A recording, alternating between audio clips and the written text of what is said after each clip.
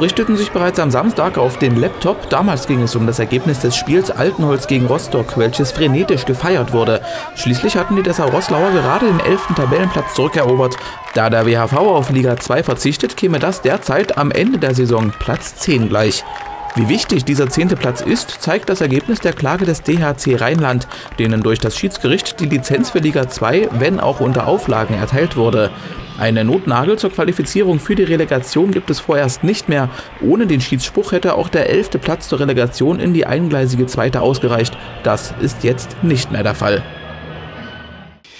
Also der DHC hat seine äh, Lizenz nicht erhalten, sondern es gibt einen Schiedsspruch in dem gesagt wird, wenn äh, bis zum 11. Juni das Insolvenzverfahren abgeschlossen ist, dann wird dem Antrag äh, in die zweite Handball-Bundesliga, dem Lizenzantrag, äh, kann stattgegeben werden.